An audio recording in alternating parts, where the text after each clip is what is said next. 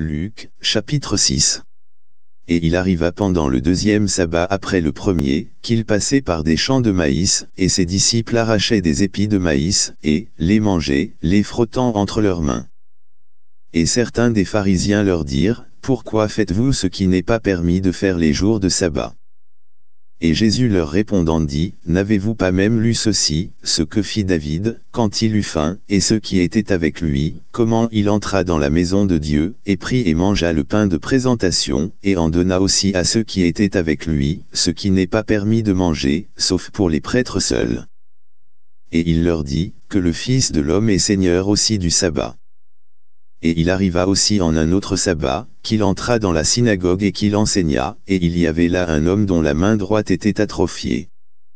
Et les scribes et les pharisiens l'observaient pour voir s'il guérirait le jour du sabbat, afin qu'ils puissent trouver une accusation contre lui. Mais il connut leurs pensées, et dit à l'homme qui avait la main atrophiée, Lève-toi, et tiens-toi debout au milieu. Et il se leva et se tint debout.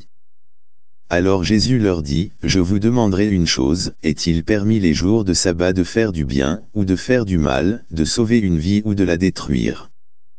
Et les regardant tous à la ronde, il dit à l'homme, Étends ta main. Et il le fit, et sa main fut restaurée entièrement comme l'autre. Et ils furent remplis de folie, et s'entretenaient ensemble de ce qu'ils pourraient faire à Jésus. Et il arriva en ces jours-là, qu'il alla sur une montagne pour prier, et continua toute la nuit en prière à Dieu. Et lorsqu'il fit jour, il appela à lui ses disciples, et il en choisit douze d'entre eux, qu'il nomma aussi apôtres, Simon, qu'il nomma aussi Pierre, et André son frère, Jacques et Jean, Philippe et Barthélemy, Matthieu et Thomas, Jacques, le fils d'Alphée, et Simon appelé Zélote, et Jude, le frère de Jacques, et Judas Iscariote, qui aussi était le traître. Et il descendit avec eux, et se tint dans la plaine, et en compagnie de ses disciples et d'une grande multitude de personnes de toute la Judée et de Jérusalem, et de la côte maritime de Tyr et de Sidon, lesquels étaient venus pour l'entendre, et pour être guéris de leurs maux, et ceux qui étaient tourmentés par des esprits impurs, et ils furent guéris. Et toute la multitude cherchait à le toucher, car une vertu sortait de lui, et les guérissait tous, et il leva ses yeux sur ses disciples et dit, Béni êtes-vous, vous pauvres, car à vous est le royaume de Dieu. Béni êtes-vous, vous qui avez faim maintenant, car vous serez rassasiés. Béni êtes-vous, vous qui pleurez maintenant, car vous rirez. Béni serez-vous quand les hommes vous haïront, et quand ils vous sépareront de leur compagnie, et vous outrageront et rejetteront votre nom comme mauvais, à cause du Fils de l'homme. Réjouissez-vous en ce jour-là, et sautez de joie, car, voici, votre récompense est grande dans le ciel, car leurs pères ont agi de la même manière envers les prophètes. Mais malheur à vous qui êtes riches, car vous avez reçu votre consolation. Malheur à vous qui êtes rassasiés, car vous aurez faim. Malheur à vous qui riez maintenant, car vous serez dans le deuil et pleurerez. Malheur à vous, quand tous les hommes diront du bien de vous, car leurs pères ont fait de même aux faux prophètes. Mais je vous dis à vous qui entendez, aimez vos ennemis, faites du bien à ceux qui vous haïssent, bénissez ceux qui vous maudissent, et priez pour ceux qui avec malignité se servent de vous.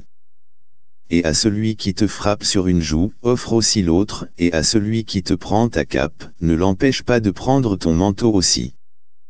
Donne à quiconque te demande, et à celui qui prend tes biens ne les lui redemande pas. Et comme vous voulez que les hommes vous fassent, faites-leur aussi de même.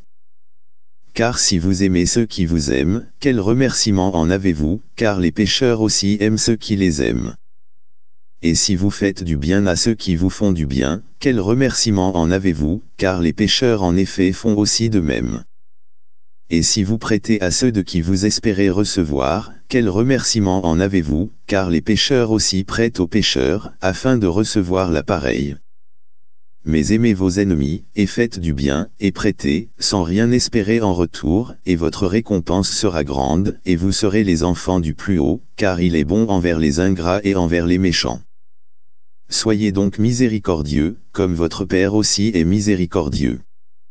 Ne jugez pas, et vous ne serez pas jugés, ne condamnez pas, et vous ne serez pas condamnés, pardonnez, et vous serez pardonnés, donnez, et il vous sera donné, les hommes vous donneront dans votre sein, une bonne mesure, pressée, et secouée et débordante.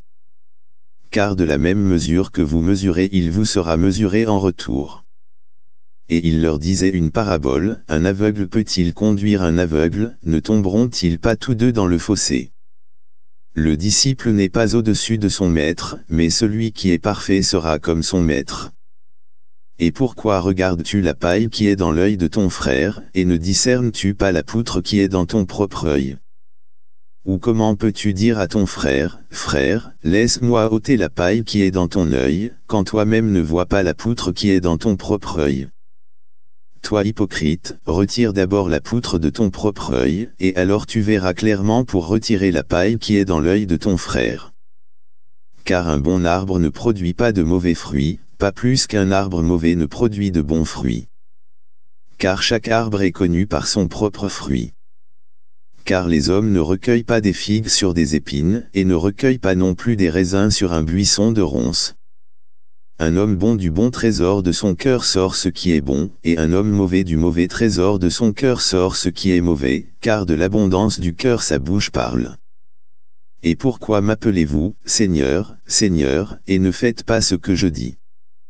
Quiconque vient à moi, et entend mes dires, et les met en pratique, je vous montrerai à qui il est semblable, il est semblable à un homme lequel bâtit une maison, et creusa profondément, et posa la fondation sur un roc, et lorsque l'inondation s'éleva, le torrent frappa avec véhémence contre cette maison, et il n'a pu l'ébranler, car elle était fondée sur un roc. Mais celui qui entend, et qui ne met pas en pratique, est comme un homme qui bâtit sans une fondation une maison sur la terre, contre laquelle le torrent a frappé avec véhémence, et immédiatement elle est tombée, et la ruine de cette maison a été grande.